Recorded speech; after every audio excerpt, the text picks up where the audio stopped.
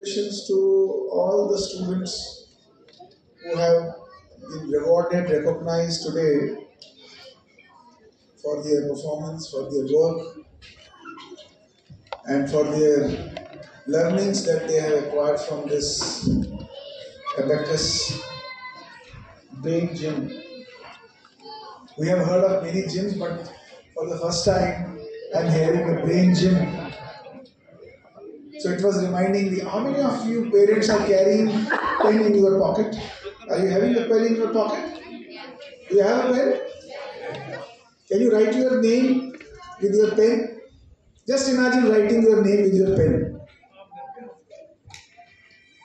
And now, if you have written your name with your pen, and now I ask you to write your name with the other hand.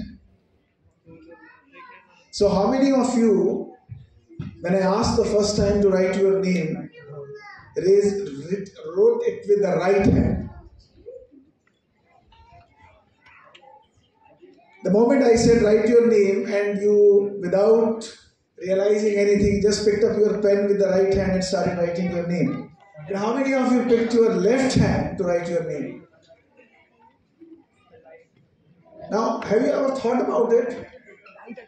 That why does this happen to us that we suddenly pick up the right hand or we pick up the left hand? Or there are some people in the world who are ambidextrous who can write with both the hands, but there are very few percentage. You know, in our brain also, we have a left brain and a right brain. Like you have two hands, God has given us parity in most of the organs, like two eyes, two ears, two lungs, two chambers of heart, two kidneys, two legs. So this parity is a natural gift of the God to all of us. But this parity has its own functions. Like I said, write your name, you unconsciously picked your right hand. But if I ask you to write with the left hand, it will be very difficult for you. And those who are comfortable writing with the left hand, if they are asked to write with the right hand, it will be difficult for them. But for an ambidextrous person, it will be very easy. Now, brain gym is like that because we are all born with certain preferences, certain preferences lying in the right brain and certain preferences lying in the left brain. I'm talking about the science because this has been my favorite subject. The right brain is mostly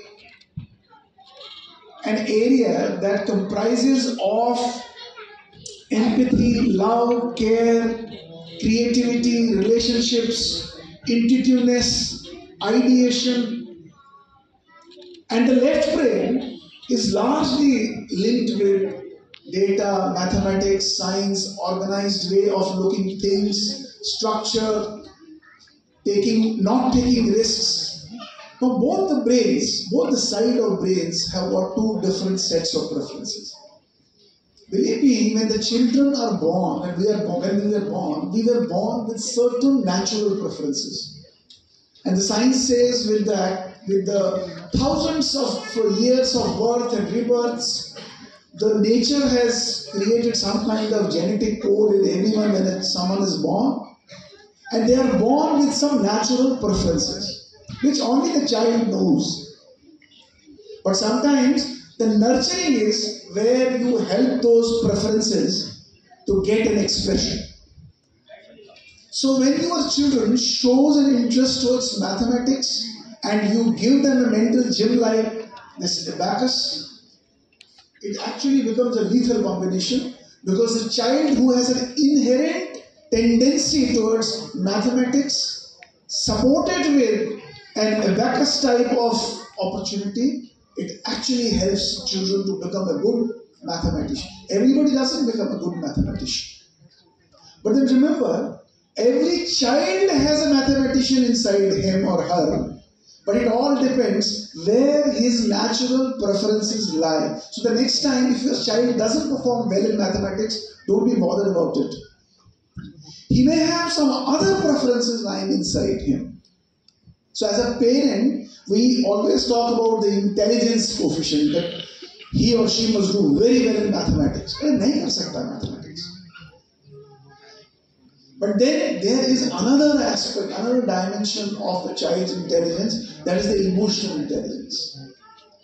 His ability or her ability to understand his or her emotions. There may be children who may be very artistic, very musical, there are children who may be very innovative and creative. They may not be very structured and organized. So we should not be judging them on what they are, whether they are organized or structured or mathematical or scientific. They may have some other skill sets, they may have other preferences. So, as a parent, go deeper and try to have conversations with your children, try to find out where my children's preferences lie.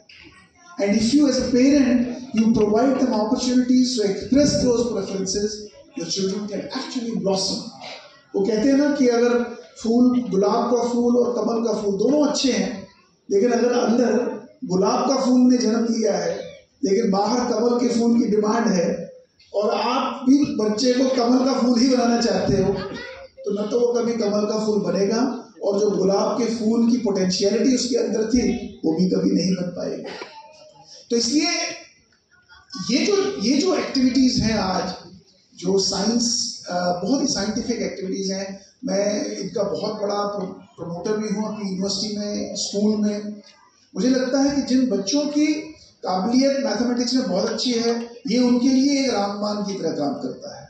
और जिनके अंदर mathematical understanding नहीं है, उनके लिए ये एक प्रकार की अंडरस्टैंडिंग को डेवलप करता है।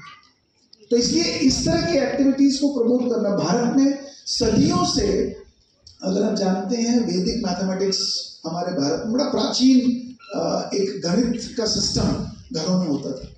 और उसका परिणाम क्या निकला जो आज हमारे घरों में आप देखते हैं ना, सांप सीढ़ी खेलते हैं snake and ladder I don't know how many of you know this snake and ladder was invented in India इसे बोलते थे मोक्ष पदम। हमारे पुराने जमाने के मैथमेटिशियंस होते थे, मोक्ष पदम बोलते थे, क्योंकि कैलकुलेशन के हिसाब से एक से सौ तक बच्चों को हम गिनती सिखाते भी थे, लेकिन साथ में मोक्ष पदम क्यों बोलते थे? क्योंकि हर स्टेप पर एक वर्चू और एक वाइस यानी जहाँ सांप काटता है, वहाँ वाइस जहाँ लैडर मिलती है, वहाँ एक वर्चू और बच्चों को बचपन से ही वर्चू एंड वाइस उस स्नेक एंड लैडर के द्वारा सिखाया जाता था।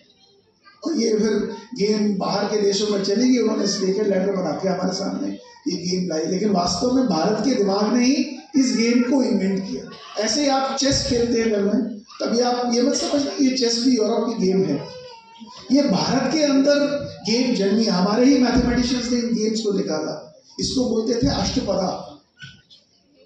या जो आज आप ताश खेलते हैं, बहुत बुरा मानते हैं, लेकिन ताश भी हमारे देश में ही जन्मा। मैथमेटिशियंस ने क्रिएट किया। इसको बोलते थे क्रीडा पत्र मसलिन क्लॉथ्स के ऊपर इसको मनाया जाता था। और ये सारे जो खेल मैं आपको बता रहा हूँ, ये बच्चों के मेंटल जिमिंग के लिए होते थे। ताकि उनके अंदर अच्छे वैल्यूज़ और अच्छे वर्चूज अच्छी थिंकिंग अच्छे एनालिसिस अच्छे डेटा को प्रेजेंट करने की शक्ति को इंट्रोड्यूस करने के लिए बच्चों को दिए जाते थे। तो मुझे बड़ी खुशी है कि आप जो ये एबेकस ब्रेन जिम आपने इसका नाम एसेंट भी रखा है, यानी यू हैव टू क्लाइंब और ये क्लाइंबिंग कभी खत्म नहीं होती।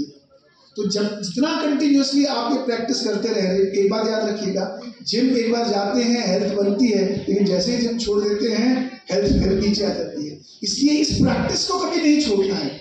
इस प्रैक्टिस के बड़े सारे लेवल्स हैं। मैडम ने मुझे, सर ने मुझे बताया, आठ लेवल्स हैं। मेरा मानना है कभी लेवल्स की एंड हो ही नहीं सकती, क्योंकि जैसे जैसे आप आगे जाएँगे, इतनी कॉम्प्लेक्सिटीज आज दुनिया भर में हो रही हैं। उन कॉम्प्लेक्सिटीज को हैंडल करना बहुत ज़रूरी है और उन कॉम्प्लेक्सिटीज को हैंडल करने के लिए नए तरीके, मैं तो गंजू साहब गंजू से कहूँगा कि और नए लेवल्स थोड़ा रिसर्च करके देखें कि और नए लेवल्स हमारे एज में भी, हमारे को तो मैथमेटिक्स के नंबर देखते ही डर लगता था। लेकिन मैं कहता हूँ कि आप हमारे से लोगों के लिए भी कुछ लेवल्स निकालिए और ताकि हम भी जो है, जो कॉम्प्लेक्सिटीज समय के साथ आई हैं, उन कॉम्प्लेक्सिटीज को हम लोग हैंडल करने में और सक्षम हो सके। परंतु तो अंत में एक ही चीज़ कहूँगा कि आईक्यू के साथ साथ आप पेरेंट्स बच्चों के साथ कॉन्वर्सेशन कीजिए उनकी जो अंदर की इनहेरेंट प्रेफरेंसेस है। कभी कभी बच्चे प्रेशर में आके सब चीज़ मानते हैं। और उस मानने के कारण से जो उनकी इंडिविजुअलिटी होती है है जो उनकी निजता होती है जो उनकी इनर पोटेंशियलिटी होती है तो हम कभी कभी एज अ पेरेंट एस्पिरेशनल होकर डिस्ट्रॉय कर देते हैं। तो इंटेलिजेंस के साथ साथ उनके इमोशनल वेलबींग को उनकी इमोशनल इंटेलिजेंस को भी आप डेवलप कीजिए कॉन्वर्सेशन कीजिए और समझिए कि उसकी प्रेफरेंसेस हैं क्या। वो अपने इमोशंस को समझता है। जैसे बहुत सारे लोग जब गुस्सा करते हैं, बच्चे गुस्सा करते हैं तो biggest tendency is they will they will just not talk to anyone और दे विल स्टे साइलेंट और दे विल जस्ट अवॉइड या कभी वो गुस्सा जाके किताब फेंक देती है। It's only because they have not been able to recognise the emotions not able to understand their emotions and not able to manage their emotions parents teachers ने बहुत बड़ा काम दे दिया है। कि बच्चों के साथ कन्वर्सेशन करना और बच्चों को कन्वर्सेशन मेथड से फैसिलिटेट करवाना कि उनकी इमोशंस क्या है, तब उनको गुस्सा आता है, तब उनको खुशी मिलती है, तब उनको ऐसा लगता है कि कहीं फियर हो सकता है। और कॉन्वर्सेशन मेथड से उनके इमोशनल इंटेलिजेंस को भी उभारना। और जब आप इमोशनल इंटेलिजेंस और ये इंटेलिजेंस कोफिशिएंट आईक्यू को आप कंबाइन करोगे, आपके बच्चे जीवन में हमेशा सक्सेसफुल रहेंगे। आपके बच्चे कभी भी अगर अनसक्सेसफुल भी किसी परिस्थिति में होंगे, क्योंकि हमारी जो दुनिया ऐसी बन रही है, इसमें फेलियर्स बहुत बढ़ रहे हैं। लेकिन जो बच्चे फेलियर्स को मैनेज करने में सक्षम हो रहे हैं, जो अपने इमोशंस को फेलियर के टाइम पे समझते हैं और बुक फेंकने की जगह अपनी कॉन्वर्सेशन की टोन को मैनेज करते हैं, वो बच्चे जीवन में कभी भी अनसक्सेसफुल नहीं रहेंगे। चाहे उनके पास पैसे कम हो, लेकिन उनके पास खुशियाँ और मेंटल वेलबींग बहुत ज़्यादा होगा। एक बार पुनः आप लोगों को बहुत बहुत बधाई बहुत बहुत धन्यवाद मुझे यहाँ बुलाने का। मुझे बड़ी खुशी हुई है कि सारे छोटे छोटे बच्चे इस बैकस के इस माध्यम से अपनी डेवलपमेंट और पेरेंट्स भी इस पर इन्वेस्ट करते हैं इस पर कंटिन्यू रखिए और आप लोगों से निवेदन है, कुछ और नई लेवल्स बनाइए। बहुत बहुत धन्यवाद।